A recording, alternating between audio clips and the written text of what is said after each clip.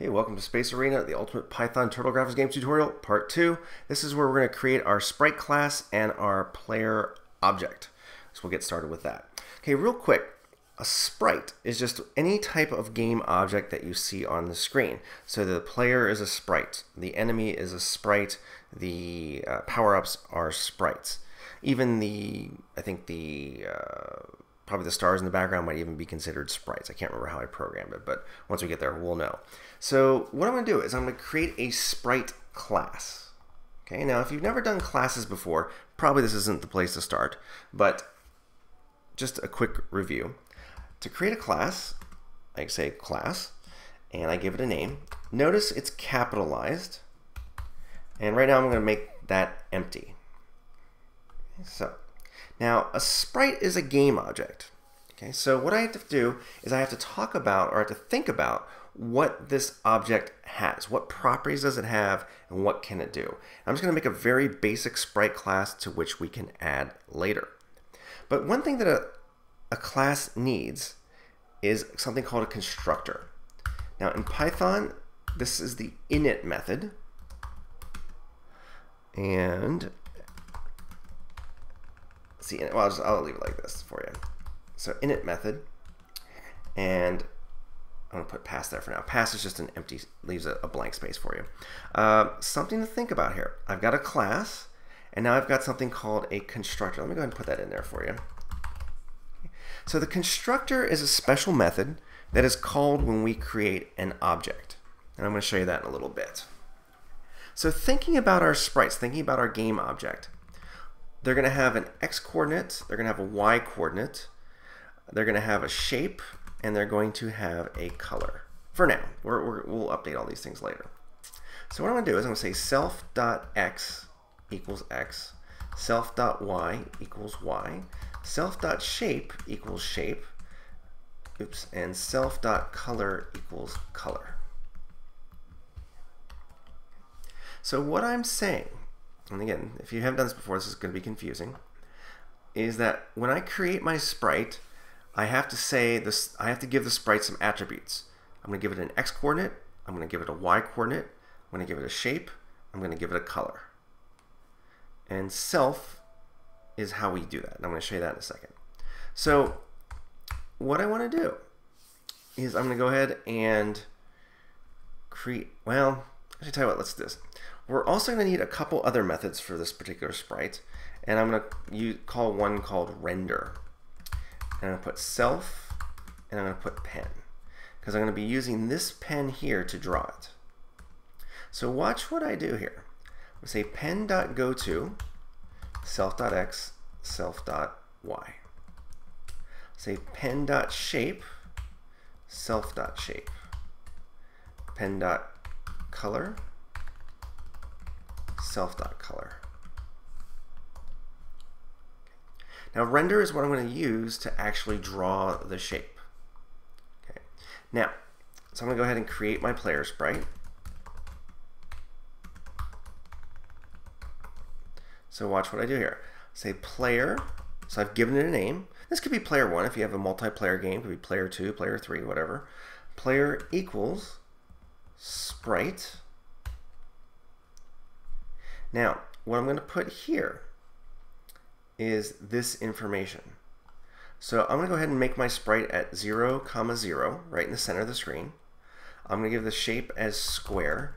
Now in this case, the shape is the possible shapes for the turtle object, which are square, circle, turtle, triangle, and uh, arrow. Okay.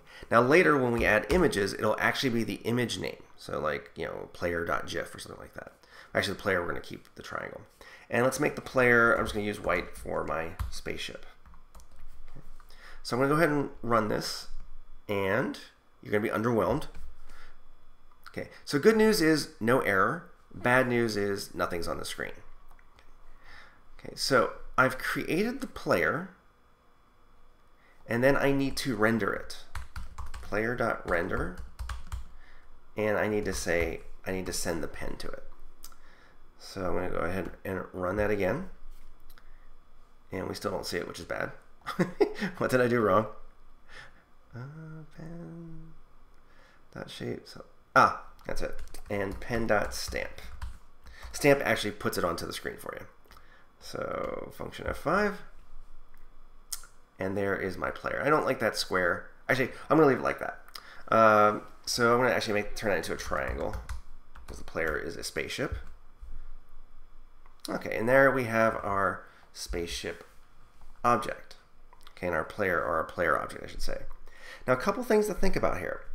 Now, at this point, I could start doing things like this. I could do enemy equals sprite, put that at 0, 100, uh, and make that a square, and we'll make the enemy a red square, and then we'll say enemy dot render pen, and then we'll go ahead and do it. We can do ahead and do a power up at this point, sprite, uh, say 0, comma, negative 100, and we'll make that a circle, and we'll go ahead and make that blue.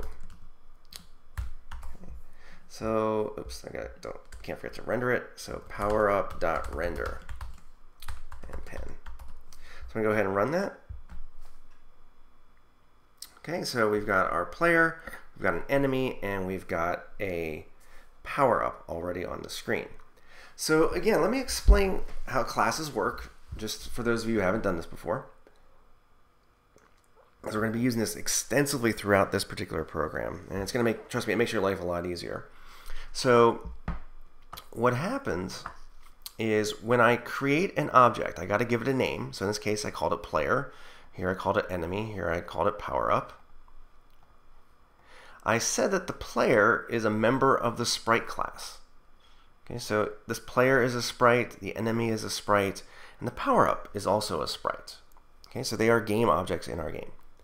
So these are the things that these particular objects have in common. They all have an x coordinate, they all have a y coordinate, they all have a shape, they all have a color. We also need to render each of these objects okay, using the pen that we created up here. So the pen goes to the location of that particular object. That's what self means. So when I'm talking about player.render, self becomes player. So player goes to here, pen goes to here. That's why it's a little confusing, the, the way this is structured. And then so self, so player, player, player, player. Okay, so player.x, player.x. Player.shape, player.color. In the case of enemy, of course, it would be different. Self would be enemy, enemy.x, enemy.y, enemy.shape, enemy.color. Okay. So that's how this whole self thing works. Now, when I create the object the first time, that's what this does. Again, remember, we want to capitalize these as a convention. These are two underscores before and after. Don't forget self. So I'm saying at 0, x is going to be 0, y is going to be 0. I'm going to draw a triangle and a white triangle, and then I'm going to render it using the render method that I created here. Okay, so let me run that one more time,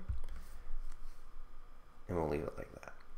Okay, so let's go ahead and close that. Let's stop there. The next video, I'll show you how to actually move the, the player around and do some kind of cool stuff with that. Okay, so thanks for watching. Stay tuned.